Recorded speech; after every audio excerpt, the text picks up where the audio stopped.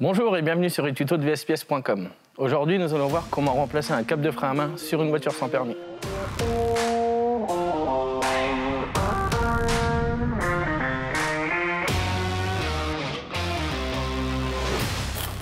Donc on va démonter la roue.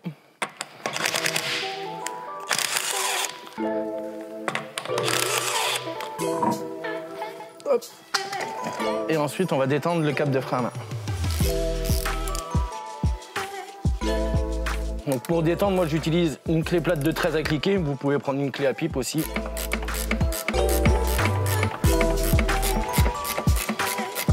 Donc voilà, notre câble est détendu.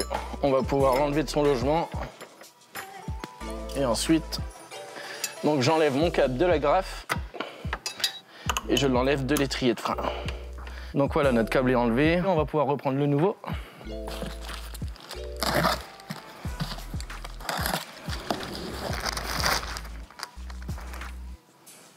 Donc on va commencer par remettre notre câble sur l'étrier de frein.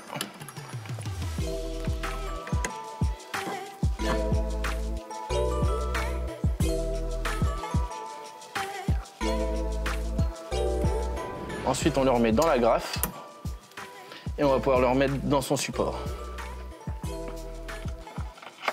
Voilà. Et ensuite, on peut le remettre dans le support de tension. Et on va pouvoir retendre notre câble.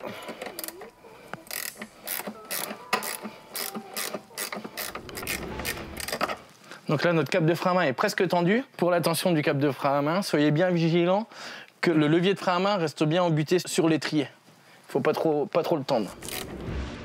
Donc voilà, notre câble de frein à main est remplacé. On va pouvoir remonter la roue.